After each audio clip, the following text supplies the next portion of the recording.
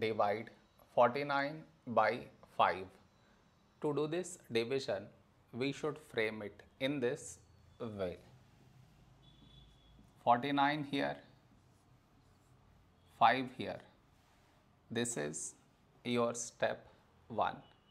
Next, here we have 4, here 5. 4 smaller than 5. So we should take two numbers 49. A number close to 49 in 5 table is 5 nines 45. Now we should subtract. We get 4. After this, no more numbers to bring it down. So what we do is we put dot take 0. So 40. When do we get 40? In 5 table. 5 eights 40. Now we subtract, we get 0. We got remainder 0. So this is our quotient